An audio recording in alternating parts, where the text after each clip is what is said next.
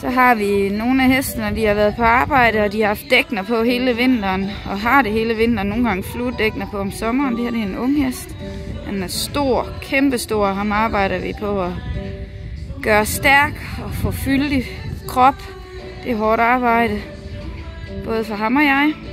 Og så lader vi dem rulle sig, fordi jeg tror på, at øh, give hestene muligheden for at ånde ud af pelsen, give hestene muligheden for at rulle sig, når de er uden tæpper. Selvom der er koldt i dag, og det blæser, og det, det er møgvejr. Rent nu sagt, blæsvejr er jo ikke hestens gode ven. Jamen, så tror vi på, at ved at gøre hestene glade, nu synes han, at jeg skal ikke stå og speak. Hej skat. Åh, oh, du er mors darling. Mm. Det her, det er så en balemær. Ja, du er en legefyr. Han har også en kammerat, han leger med det Møffe. Møffe er 1,20 høj, ikke? Ja, du er fræk. Du er så fræk, lidt. Jeg var faktisk lige ved at speak til min YouTube-kanal. Nu går det jo helt galt.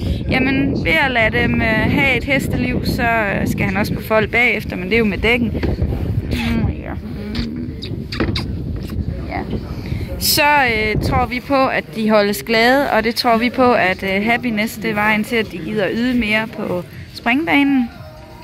Og nu lukker jeg og skjuler, at jeg er her, så han kan rulle sig. Det er jo lidt koldt uden, uden tøj. Og så ser vi, om han ruller sig. Og det gør han helt sikkert, når jeg ikke er her. Han elsker at rulle sig, men han elsker også at lege med Georgia. Men nu prøver jeg at gemme mig her. Og lad os se, om det giver lidt. Super, jeg skal ride ham der nu.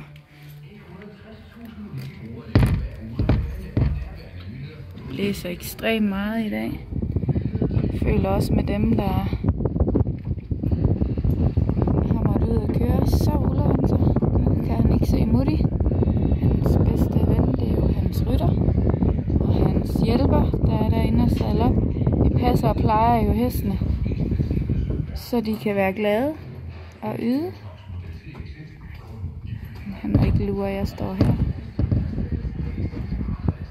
Han arbejder virkelig på, hvor han skal lægge sig. Hvor han skal lægge sig, så han kan få rullet sin pels. Jeg tror på, at det hele går ud på, at hesten er glade, fordi så yder de mere, når de er glade. Vi skal da vist have pudset de vinduer her, de er lidt støvede. Så arbejder han på sin rulleteknik.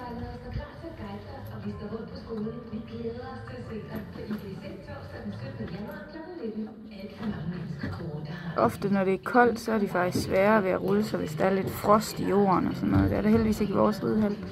Så skal vi ned og rulle os. Og det gør han hver dag. Det elsker han.